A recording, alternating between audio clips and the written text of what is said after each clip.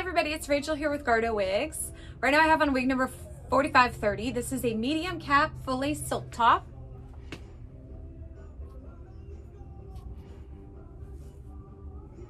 Long lace. This gets cut back. If you're new to wigs and you get a lace wig, usually they have a lot of extra lace there and you can cut that back after you know that you're going to keep the wig.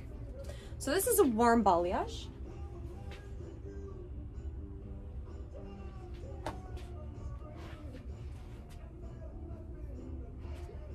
She's ready to ship and I'll put a link below to this exact wig. Thank you.